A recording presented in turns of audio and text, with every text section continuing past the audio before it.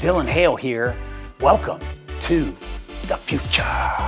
In the future, all homes will be sold through the magic of virtual reality. The 3D virtual tour feels so real, you can almost taste it.